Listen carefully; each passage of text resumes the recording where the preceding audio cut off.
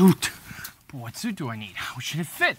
I know nothing! So, you need a suit, eh? Yeah, I got a commemoration during the night, and I know absolutely zero about suits. And I need one. Don't worry, I got you covered. Hey, I'm Levi Peters, and this is Demetrios Levi. And today, it's all about suits. Ooh. Personally, I think every guy needs at least one suit in his wardrobe. And just for a clarification, a suit is a matching jacket with matching pants. I just really can't think of anyone who could go their entire life without needing to wear a suit at least a few times. Weddings, yes. Funerals, a must, in my opinion. Many places or events require them, and even if it's not required, it shows a lot of respect. And this is, I think, really needed at places like a funeral. That's the last place you want to show any disrespect. It's all about the respect. So I'm going to walk you through everything you need to know about a suit so you can feel confident when you go and grab one and you don't feel lost. Let's start with the question that everyone asks. What color suit should I get?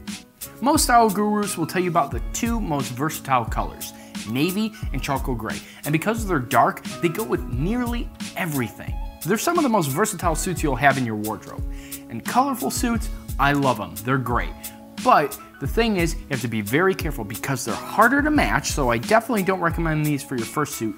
And a big problem is they can be very, very tacky. And you don't want that at all. You don't want to look like Harry and Lloyd. Ah! Gray will apparently make you seem a little older and navy a little younger. Why? I have no idea. I don't know any of the science behind it, but apparently it does. If anything, navy is slightly more popular here in the US, so it's hard to go wrong. Now you might remember that I said most style gurus and not my personal opinion. Now I thought long and hard about this, and I know I'm going against the grain in a lot of ways, but I think your best option is black. Now hear me out. I can explain. Some of us may not have an office job or go to an event where a business suit is required. But all of us pretty much attend a funeral at least one time in our lives, not including ours. A suit is necessary, I believe, to show respect. And what is the color of mourning? Black. So you should be wearing black at a funeral. It's not the appropriate time to show off your style and wear interesting colors or have crazy pocket squares. Someone died. He's already dead. I never really look down at people who don't dress super nice or anything like that because generally I don't care. But when it comes to a funeral, I don't know, it just really grinds my gears. I just think, really, dude? You couldn't wear black? I don't know. I just think that more respect should be given to the deceased. I don't get no respect. On top of funerals, from my own personal experience, the only time I was required to wear suits for work or an event were black suits. So already on my short time here on this planet, the only places I needed a suit required a black suit. And if I didn't have them, phew. now, black is overrated. Highly overrated and overused for the wrong occasions. But even outside of required work or funeral, you can make a black suit stand out from the sea of many black suits.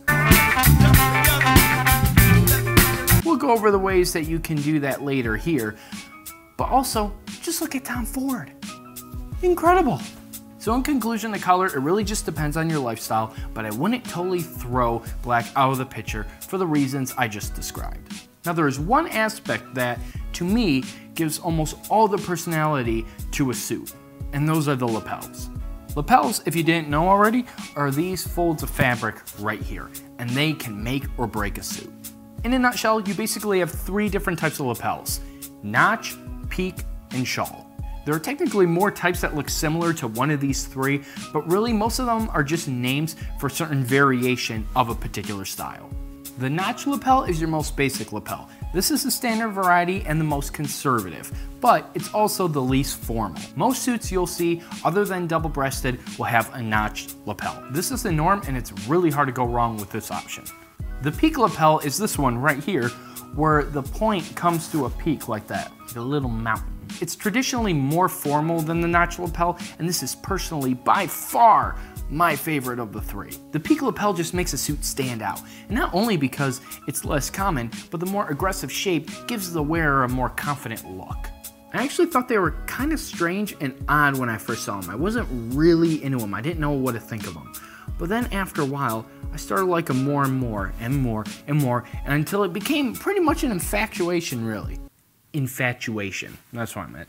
I know someone out there is gonna like hammer me for my pronunciation. My mom and brother. Hey. Personally, I love them so much that could be all I could wear for the rest of my life and I'd be extremely happy. If it doesn't have a peak lapel, I am not interested and I probably won't get it. The third type is the shawl lapel. This lapel has no cuts or notches or anything in it whatsoever. It's just smooth all the way down. It's the most formal of the three, and it's usually reserved for tuxedos. When it comes to your first suit, it's usually recommended to go with a notch lapel. But if you want to go for a peak lapel, absolutely go for it. I don't see any situation where it'd be improper to sport one. I'd personally stay away from shawl lapels for your first suit and for most of your suits for that matter. Personally, I think they just look best on a tuxedo and that's about it. Now for the width of the lapel. Normal width can be anywhere between two and a half to three and a half inches wide, depending on your build. And you can never go wrong with this. It's always gonna be a good choice. It'll always look fine, yeah, but it may look a little boring also. But if you're going for something more understated, then you can never go wrong and that's what I would recommend. This is probably your best bet for your first suit. Skinny lapels are fashionable right now, they're kind of in, but personally, I can't stand them. The lapels are what give a suit the most flair and the most character. So when they're so skinny, you can barely see them, and all that character is gone. It's flushed down the toilet. Any other differences in the lapels, like notch or peak, get lost when they're super skinny. Also, since skinny lapels are essentially a fad, they tend to look kind of cheap. You may have paid good money for it, but it can still come across as cheap. But that's just my opinion. Like I said, if you want to go for skinny lapels, go for it. I just don't recommend them. Wide lapels are personally my favorite. Sometimes I have a tendency to go overboard in how wide I actually like them, so I always have to keep that in check. You'll usually see wider lapels in Italian suits or a lot of bespoke suits. It's definitely not for everyone, but ooh, they show so much character and I love them. Ooh, and they're wide, it's just, ooh kind of got that 70s flair to them, that Tom Ford-esque feel. I feel it can be appropriate for your first suit to have wide lapels, but just not too wide, because remember, it's all about proportion. Now, some will say to always stick with the normal width lapel because it's timeless and it's classic. But here's the thing it'll always look good, yeah, it'll always be around, but it usually never looks interesting. It's a way to play it safe, but to be honest, it can be a bit boring. But some people will say, oh, well, you know, you don't want to look down the road at those pictures and, you know, be embarrassed. But who cares? They're just pictures. That's it. Who cares? If you like it and it looks good, then go for it. I'm just so sick of these people who are worried about how they'll look down the road when it's in the past, when it's all said and done. Don't worry about how you'll look in 20 years from now.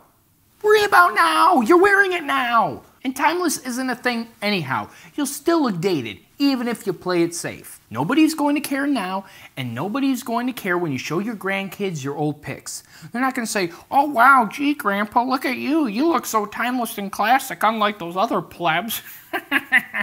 Come on. People will still know what era it was, because suits in the 40s looked very different than suits do today, as in every single freaking decade. So no, it's not timeless, and who gives a rat's boot about old pictures? And if it looks funny, at least you'll have a laugh. Sorry, rant over. Another aspect to consider are the pockets, and you basically have three types of pockets. You got the patch, the flap, and the jetted. Patch pockets are the most casual, and they look really great on blazers and sport coats. Flap pockets are a great middle ground because they're not super casual, but they're not super formal either. They're perfectly in the middle. You can also have this extra pocket right here called a ticket pocket. Back in the day, it was used mainly for when dudes, you know, would have tickets for trains or whatever. They can also be straight or on a slant. You can also fold them inside to make them into the most formal pocket, the jetted pocket. Well, that's where I'm gonna end it. But don't worry, don't worry, there'll be more. There's just way too much to cover on everything that you need to know about suits in just one video. So I'm gonna divide this into two. This is part one, there'll be part two, don't worry. And if you like this video, leave a like and subscribe if you haven't already. And also hit the bell notification button so you'll actually get notifications when the next video is posted. This is also part of my Sal's beginner course, which you can view right here from the beginning if you haven't already. Because if you haven't, go do that. Also, before I leave, guys, comment down below if you think a black suit is a good idea for a first suit. Since it's such a heavily debated topic, I'd love to hear your thoughts on it and what you think about it because as you all know, we are in this together. All right, I'll see you guys next week. Look out for part two. Okay, I didn't think I'd have to do that.